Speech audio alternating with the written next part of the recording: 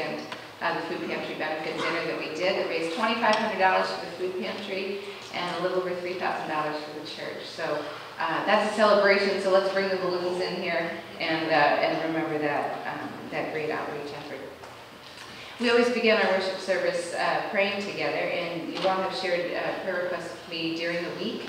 Some of you also filled out the slips at the back of the room on the clipboards to um, let me know about your prayer requests.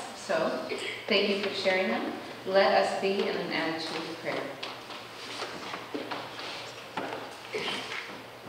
God, we're glad to be here this morning. We're glad to remind ourselves of our desire to walk a little bit more closely with you as we sang in song. We know that our time here helps us to do that, God. And so we thank you for allowing us to be able to be here, that our schedules opened up, that our health was good, that our car worked, all the things that we needed to get us here today, God. We are grateful. We are grateful. I ask that through the power of your Holy Spirit, you would be with us, that you would offer us what we need today, and that we would receive it, God, that we would be open to, um, to a challenge. We'd be open to your comfort, that we'd be open to your counsel, God, allow us to be open to you and to receive what you have for us.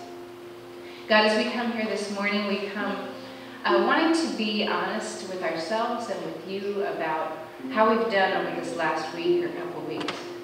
God, maybe we've done a great job. Maybe you've been with us. Maybe we did better in a situation um, where we've struggled in the past. And so we praise you for that. And maybe also, God, we stumbled and didn't do so well. Maybe um, caused harm to ourselves or others. And so if we have sinned, God, we name this in our hearts honestly before you. And we ask, God, that you would help us to receive your forgiveness and through the power of your Spirit, that you would continue to work with us and transform us to give us new life. Hallowed be thy name. Thy kingdom come, thy will be done on earth as it is in heaven. Give us this day our daily bread, and forgive us our trespasses, as we forgive those who trespass against us. And lead us not into temptation, but deliver us from evil. For thine is the kingdom, and the power, and the glory forever.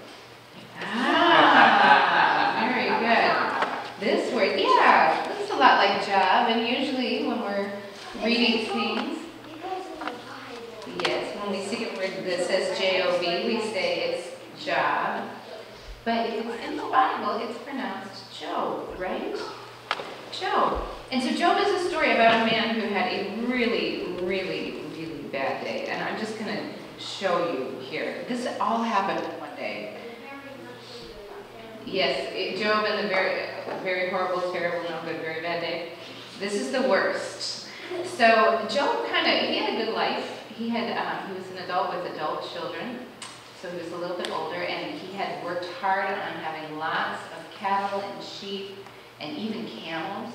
So that made him a wealthy man. And then one day, a messenger came, listen to this, and said, Guess what? Your oxen and your donkeys that were grazing over there, some enemies came in with swords and took them all away. And Job said, Oh no, that's terrible, but I still, I still have uh, lots of other uh, cattle, and so that should be fine. But then another messenger came in and said, The fire of God came down from the sky and burned up all your sheep and all the servants that were around them. And Job said, Oh my goodness, that's terrible. Well, at least I still have my camels. What do you think happens next? Another messenger comes and says the camels got carried off because some other enemies with more swords came and took them. And Job said, This is really bad. That's like all oh my money. This is this is terrible. What am I going to do? And then the worst news of all is that somebody came and said, another messenger. These are these are bad messengers. I bet Job didn't want any more messengers after this. But he said, Your sons and your daughters were feasting and drinking wine and having a party in the house, and suddenly a wind came in from the desert, and it struck the house and it made the house fall down, and your children have died.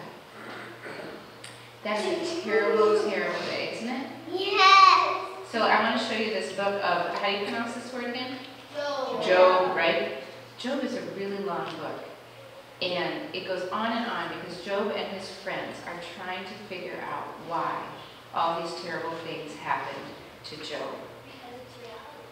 Yeah, that's real life sometimes, that's right.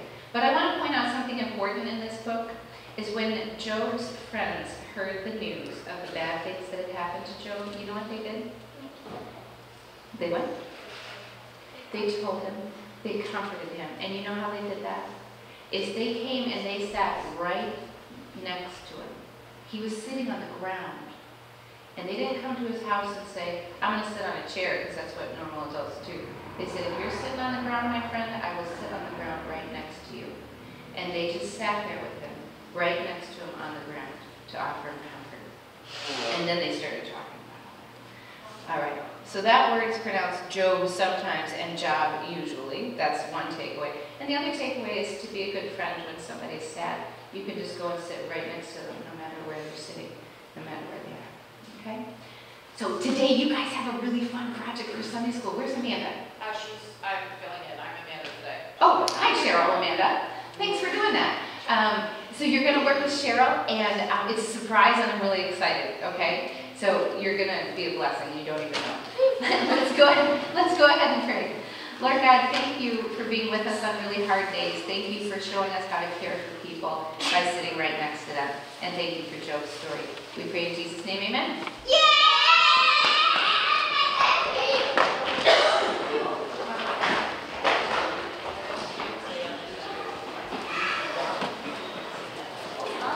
It's a song.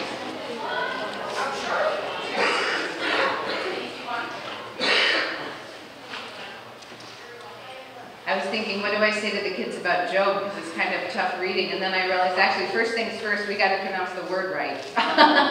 Because I remember when I was about five thinking, did pronounce that Job? So let's start with that. Our psalm this morning is Psalm number one. Let's read it together. Blessed is the one who does not walk in step with the wicked, or stand in the way that sinners or sit in the company of mockers, but whose delight is in the law of the Lord, and who meditates on this day and night. That person is like a tree planted by streams of water, which yields its fruit in season, and whose leaves does not wither. Whatever they do prospers. Not so the wicked. They are like chaff that the wind blows away.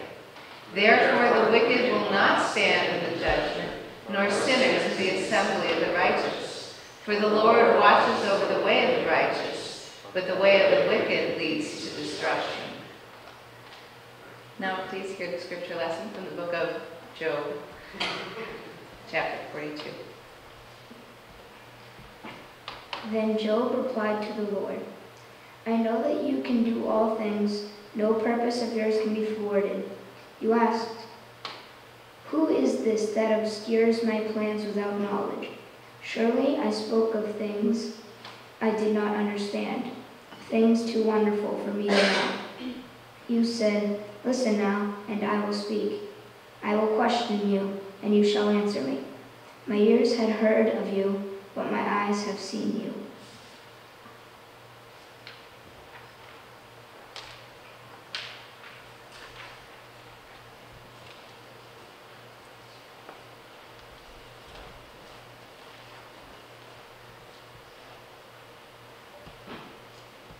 Please pray with me.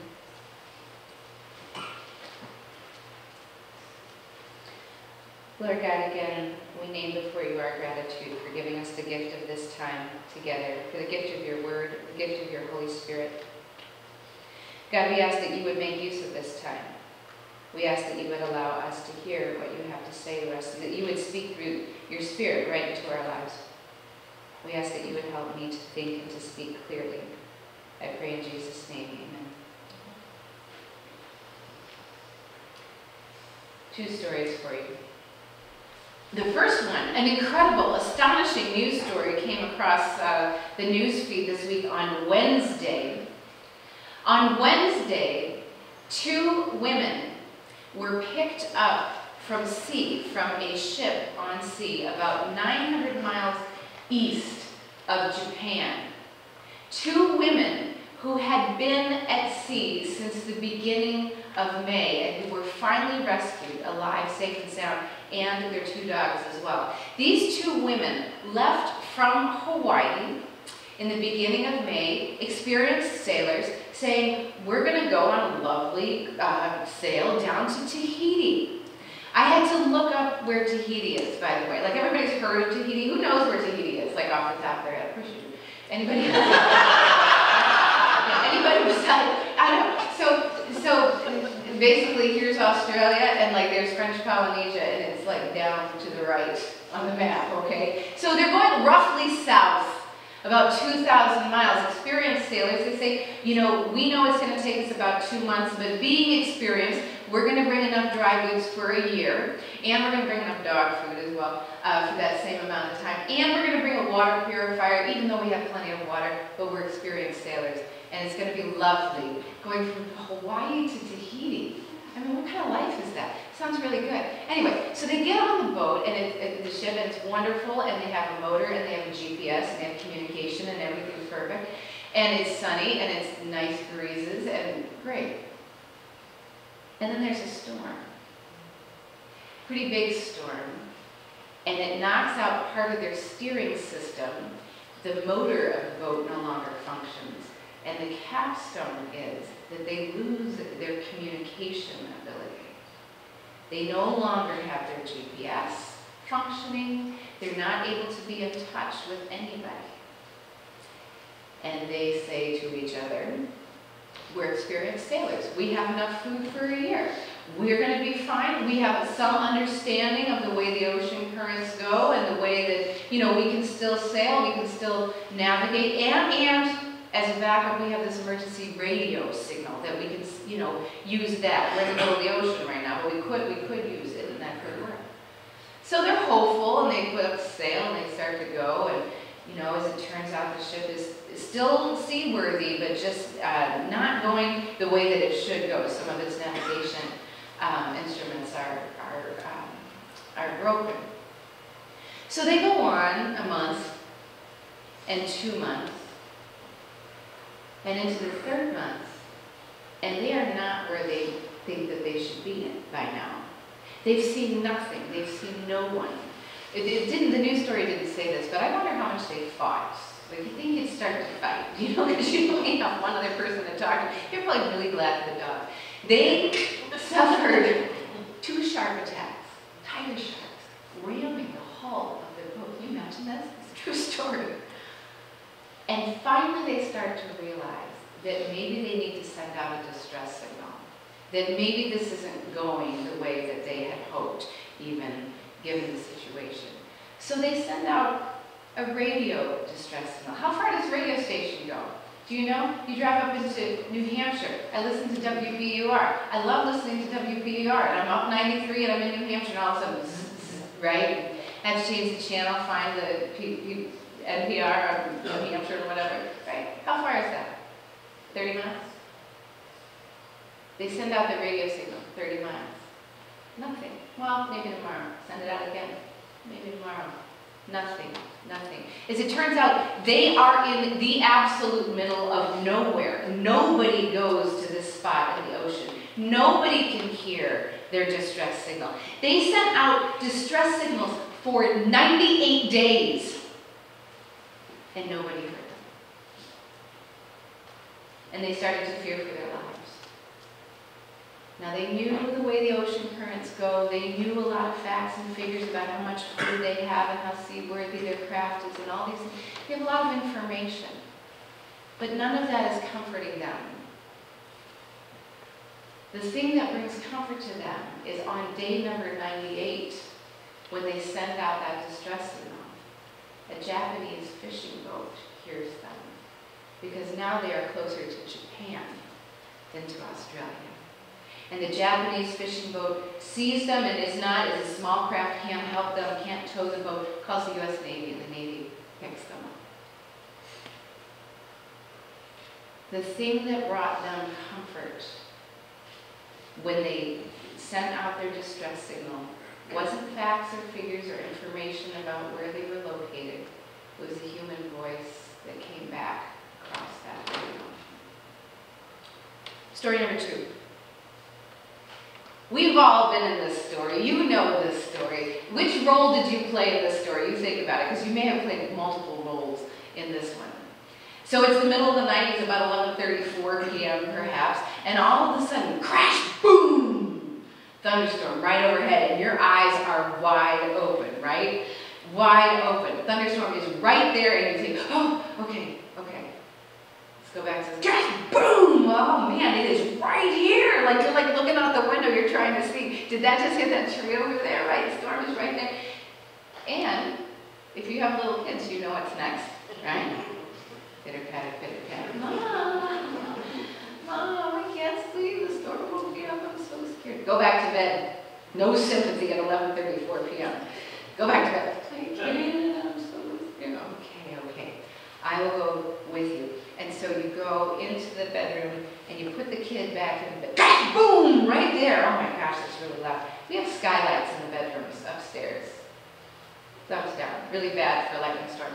Okay, and you pull the covers up and and you put your hand on the kid's back and you say, you know, this is gonna be all right. Crash, boom! But it's so loud. Why does the lightning have to be so bright and the thunder have to be so loud? It's so scary.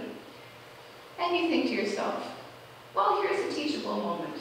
I am a good parent, and I will now elucidate my child on physics and lightning and thunder. And so you go into this long, interesting, fascinating speech about, you know, the release of energy when the clouds hit each other and light traveling faster than sound and honey and grass, boom, and the kid's shaking and you rub it back over the you know, and, and, and now we can tell that the storm is starting to move away because we can count the seconds and the sound goes about a mile in a second. Well, just spouting forth this wonderful wisdom, trying to help this child.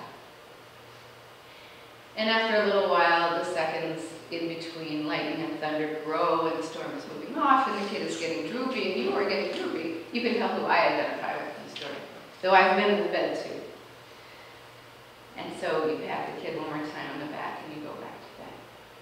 Next morning, kid's downstairs at the island eating uh, breakfast cereal and daddy says, you woke up during the storm, didn't you? Daddy knows about the science education that has happened last night. Yes, I did wake up during the storm. What did mommy tell you about the storm? And the kid says, I don't know. But mommy sat in my bed and she rubbed my back and she made me feel better. In the middle of a storm, the thing that brings us comfort is the voice of someone else on the other end of the line in the middle of the storm. The thing that brings us comfort, not facts and figures and science, is a hand on the back, sitting on the bed and saying, I'm here. Job, not Job, Job knew something about storms. I read a little bit of it to the kids. It's um, interesting to, if you, if you want to get into an interesting debate with pastors, you can talk about whether or not Job actually happened or if it's more of like a myth. Why do bad things happen to good people? Job is demonstratively a good person. It even says in the beginning of the book that God said Job was a good person. This was a nice guy who did great things, who worked hard, and he loved God. And in one day, his whole fortune is wiped out, and his children are killed. In one day. And after that, his skin breaks out, and he's miserable and itchy and sitting there with no money and grieving the loss of his children and in physical pain in one day. You want to talk about storm. He sends out a distress signal and his friends come and they sit right next to him on the ground. I love that. Sit on the ground. Sit right next to him. And they say nothing for a week because what can you say? They did that really well. But after a week goes by, now they've been thinking, see, and they know lots of facts and details and theology about God. And they're wise men and have lots of information. And they think, let's solve this problem, uh, Job. Because Job has just been sitting there saying, why? They say, you know, I've been thinking about why, Job. And I may have some answers and some reasoning here for you. And so they start to speak to him. And they say, well, Job, one of them says, obviously, Job, you're a screw up. God's punishing you. Don't you see? You just need to repent. How comforting is that? They should have kept quiet, right? And another one says, well, Job, it's got to be this. And they go on and on and on with information and true things. Actually sound theology. Maybe not the one about you being a jerk, not that one. But some true observations about God. Not comforting the least, but still true. And they talk and they talk and they talk. And they share all this information. And Job listens to them and thinks, man, with friends like these, like, this is terrible. And he says, you guys, you've got it all wrong. Let me tell you what's going on with me. And then Job starts to talk. And he says, again, so many realities of his life and the details and, and, and his relationship with God and how he's never done anything wrong. And then he starts talking to God. And he says, God, you know that this is true, and you know about me. And he calls God on the carpet and he says, Where do you get away treating me like this? I've been a good guy this whole time. You shouldn't be punishing me. I've done nothing wrong, God. And he goes on and on and on, and words and words and words for 20, 38 chapters. this is a long book. Can I just have a sidebar here for a minute because we've got some time? I did learn that sidebar is a legal term. Okay. I tell the lawyer. Yeah, you can actually stand the side. I, I have a friend who's having a hard time in life, and she says, well, now I'm going to start reading my Bible, right? Because my life, uh, maybe I need to get closer to God. So she uses the time-honored technique of going like this. Oh, look. That's how, right? She said, open it right middle. And she opened to Job in those 38 chapters of Job going, why was I even born? I shouldn't have been born. You shouldn't do this. I want to get closer to God, and here I'm reading, I shouldn't have even been born. Don't start with Job, okay? Job is like 301 level, 401 level. It's not intro, not 101. Job goes on and on and on, words and words and words. And finally, in chapter 38, it says, And then God answered Job. God answered Job. How many times have you poured out your heart to God, saying, why, why, why, why, why? And wanted to get an answer?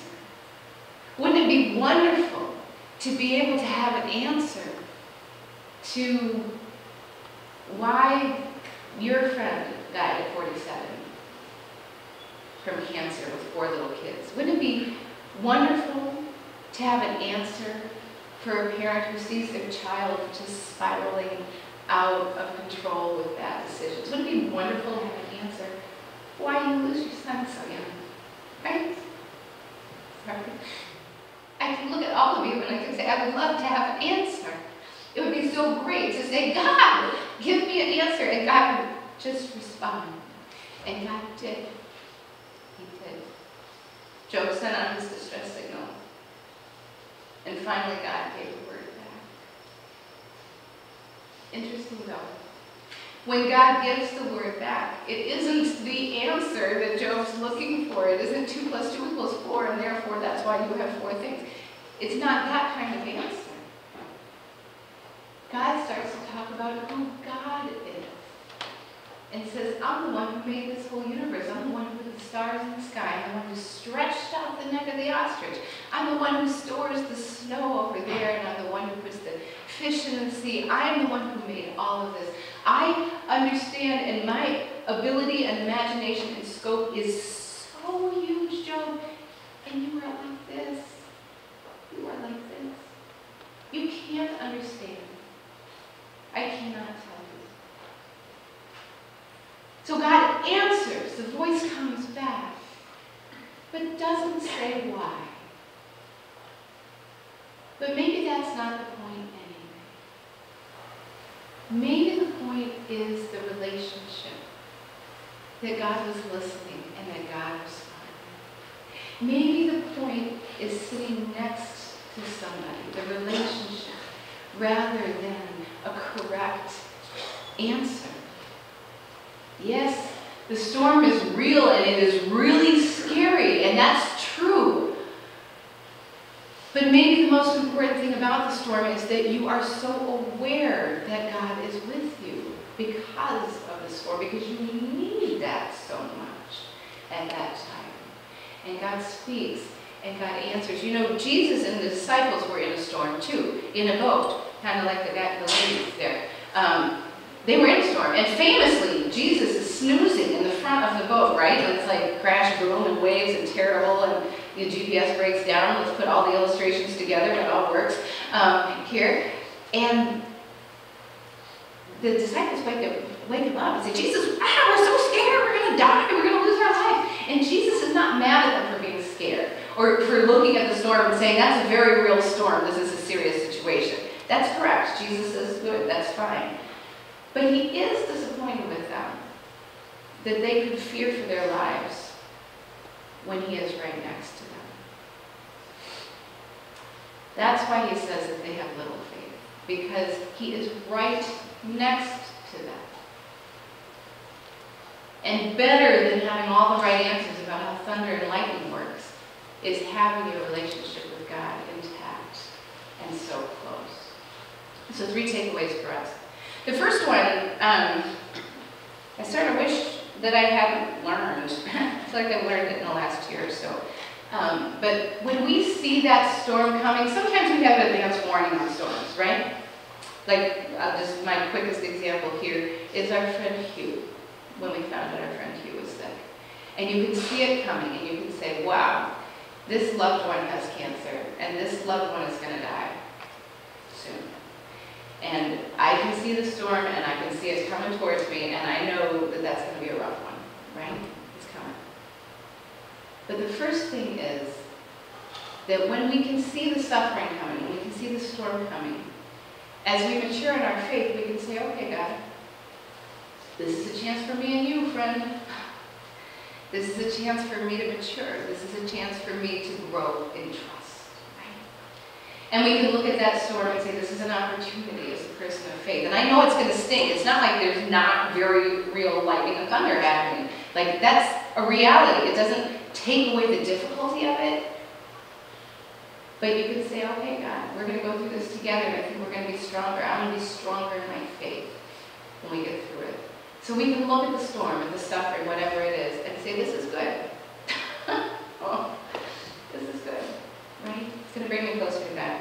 Takeaway number two.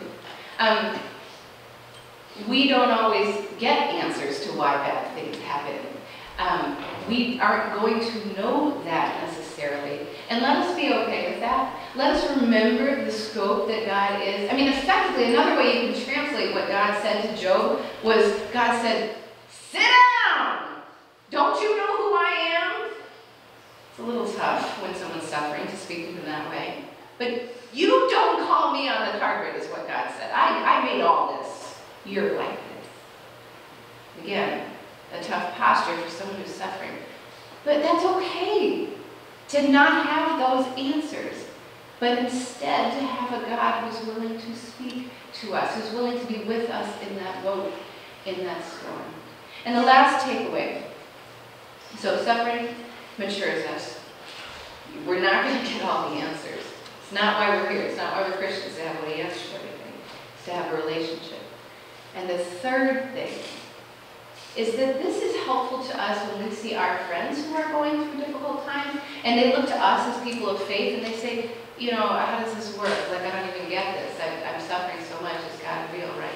And then you feel like, oh, I need to now defend my faith. I need to give the right answer. I need to say the perfect word. Who has had the perfect word to say when somebody suffers? Anybody? Because it's not me, right? That perfect response, we search for it. We just want to have those right words. Can we let ourselves off the hook from that? Can we say this isn't about having that perfect right response, but it is about sitting down next to the person and being with them, being in the boat with them, and saying, um, I love you, and God loves you, and God's here. Right? Don't have to have the answer. Thank goodness. But you can sit with them, and you can embody that kind of compassion and that love, the reality of God to them in that moment. So the book of Job is about suffering that we cannot explain. It's about searching for answers that aren't given. But it is about a God that is in relationship with us, who answers us when we send that distress signal and comes to sit with us and be with us and love us. Amen.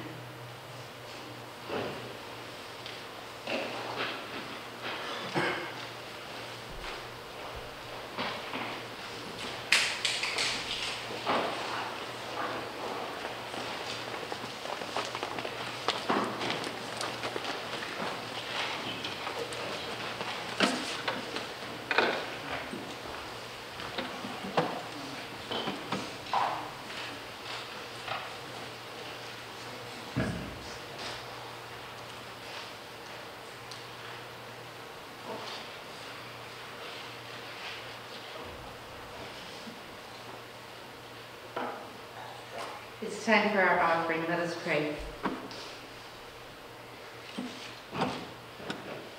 Lord God, thank you for letting us know that, that you are there listening and that you are ready to respond. Thank you for helping us to navigate the storms of life because you are with us. Please receive this offering as an expression of our gratitude. We ask that you would bless and multiply it to your service in the world. Pray in Jesus' name. Amen.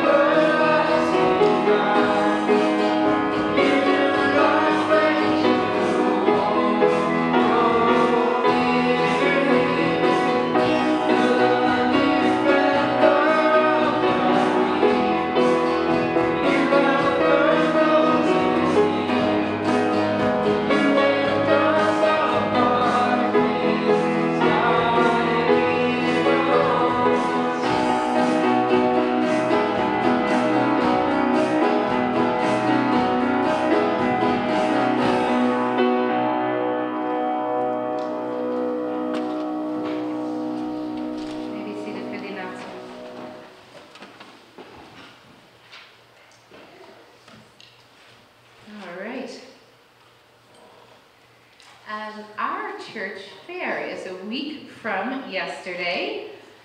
Dee, you are looking remarkably calm there in the back. Good for you. Do you have an announcement at all? Is there anything else that we need to know, any support that you need um, regarding the church fair?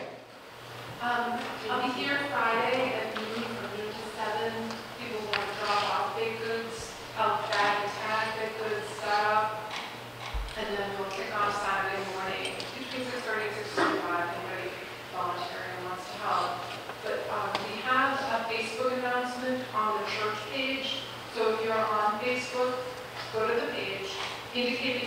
and then share that announcement on your own page.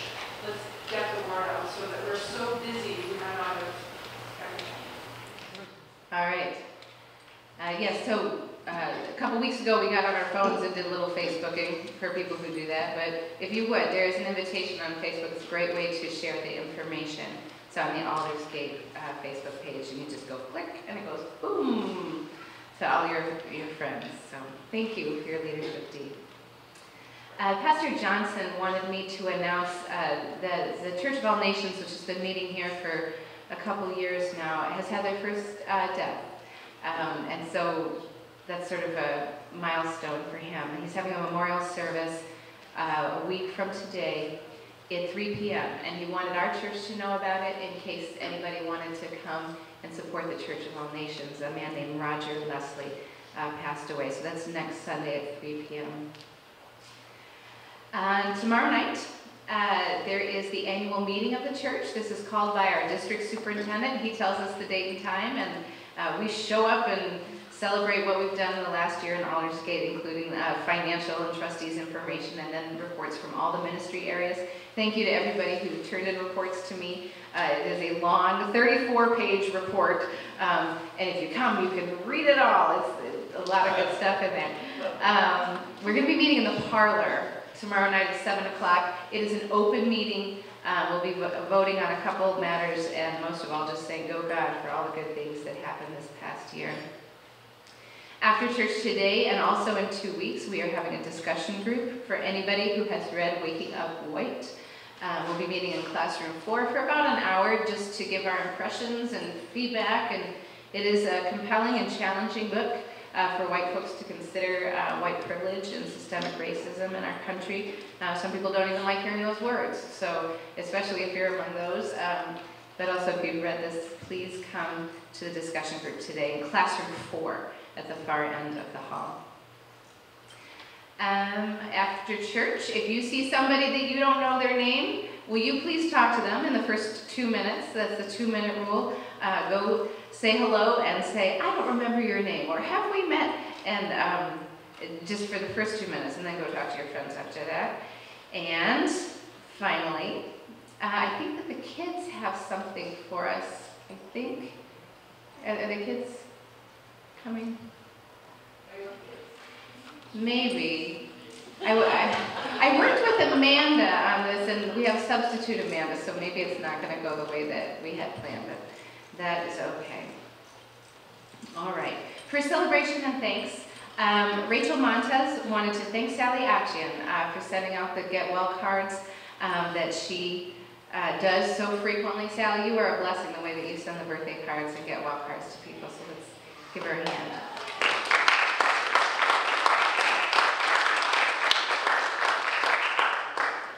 Also, I want to celebrate uh, John Wise uh, leading the blood drive after being out of town all weekend and I think taking a red eye in the night before. Uh, ran the blood drive on last Monday and collected 20 uh, pints of blood. So let's celebrate John.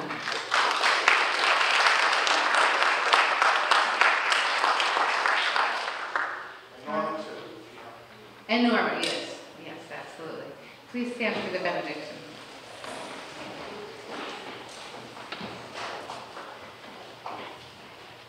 May the God who answers us when we cry out, the God who sits with us, the God who has come to be with us in Jesus, be with us all until we meet again. In the name of the Father, Son, and Holy Spirit. Amen.